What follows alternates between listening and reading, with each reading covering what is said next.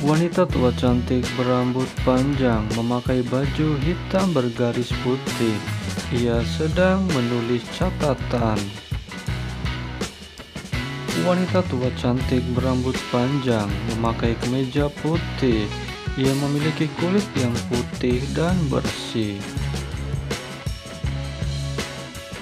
Wanita tua cantik berambut pendek memakai baju krem. Ia sedang bersantai duduk di sofa.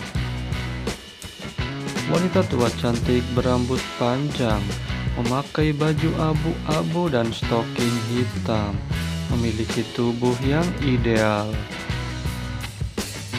Wanita tua cantik berambut panjang, memakai baju hitam dan jaket hitam.